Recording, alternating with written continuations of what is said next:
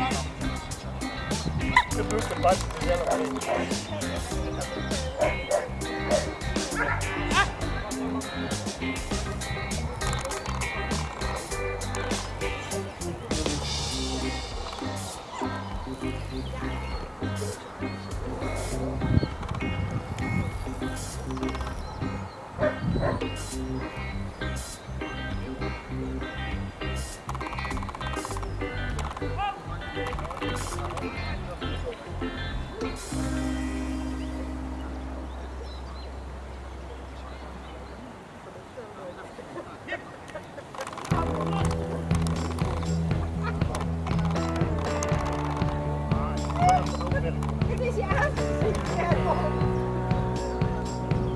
Thank you.